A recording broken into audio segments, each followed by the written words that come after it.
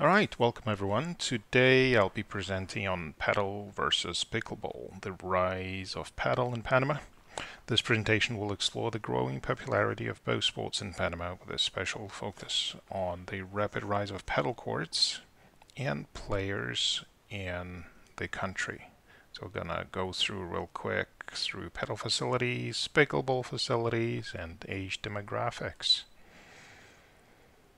Let's uh, delve into the padel facilities. As of 2024, there are approximately 16 padel clubs in Panama, featuring combined total of around 50 individual padel courts. This indicates a strong infrastructure supporting the sport's growth. Moving on to pickleball, there are three main clubs in Panama with three courts, two courts, and three courts uh, respectively. The total number of courts is eight, showing a smaller yet present interest in the sports. The majority of the folks are converting the old basketball courts as makeshift facilities, but no dedicated clubs. So here's the map presentation of pickleball and padel facilities in uh, Panama City. I'll uh, get out the presentation and go into the Google Maps so you can see for yourself. So this is Padel Panama.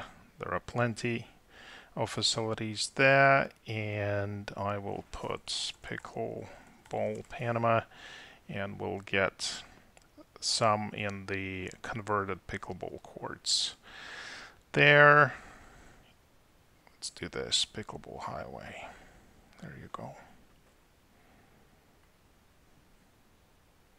So I see it's a basketball court converted into uh, temporary conversion into the pickleball courts, but uh, nothing in uh, Panama City.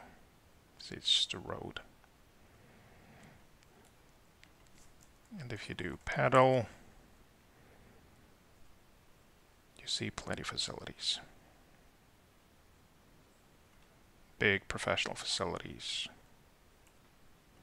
with multiple courts, waiting areas, and so on.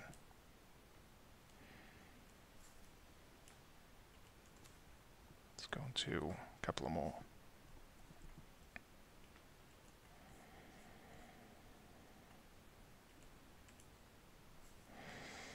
Anyway, back to the presentation.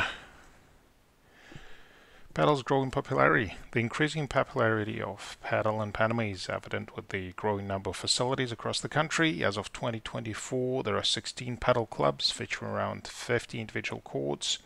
This showcases the rising interest in the sport among the Panamanian population. Player demographics. Uh, padel in Panama affects players from a wide range of age groups, reflecting the sport's broad appeal. The largest portion of players are in their 30s and 40s, mirroring global trends. This age distribution is consistent with the pattern observed worldwide. And it's quite popular around the world as well. This chart on the right uh, shows that. Pickleball player demographics. The majority of pickleball players in Panama are seniors, reflecting the global trend of the sport, attracting significant number of players over 55 maybe it's also because uh, Panama is the retirement retiring destination for lots of uh, uh, Americans and Canadians. However, there is a growing interest in participation in the sport among younger adults as well. So here are just a few pictures that I uh, pulled off the internet um, after typing in pickleball and uh, and padel on top you see uh, padel players uh, that are usually younger. And the internet doesn't lie, as they say, and the pictures below show the general demographic of uh, pickleball players. In comparing the two sports, padel sees an 80% player growth compared to pickleball's 20.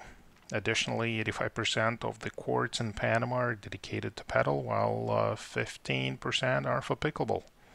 This data underscores significant rise of padel in the country.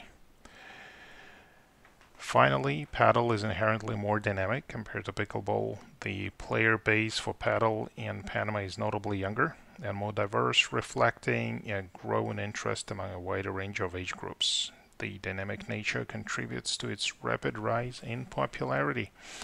So I created this presentation just to show the comparison because a lot of Canadians and Americans coming to Panama uh, sticking with pickleball or sticking to the expat communities. Um, would love to see more people venture out and checking out padel as a game and padel clubs in uh, general. And hopefully there will be more cross uh, pollination between the two sports. Thank you.